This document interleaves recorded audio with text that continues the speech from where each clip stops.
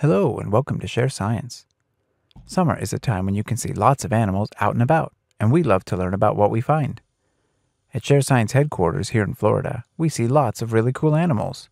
While we were out today exploring nature, we came across a small family of deer, but we wanted to see if we could find out more about them. That's why we use an app on our phone called Seek that uses artificial intelligence to identify what it is.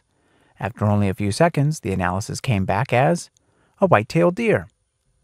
These creatures are really common throughout the United States and North America. Deer can be so much fun to watch, but did you ever wonder why the fawns have white spotted coats, but the adults don't? Unlike most animals, fawns do not follow their mother around after birth. For the first month of their lives, the fawns are kept hidden in vegetation when their mother goes away in search of her food, and their spotted coats help them blend in with the sun dappled patches that can frequently be found on the forest floor while mama is away. Once they get older and can fend for themselves, their spots fade to a beautiful brown coat. Isn't that cool? We have such a good time finding new animals that live near us in Florida and finding out about them using the Seek app, which we've linked in the notes.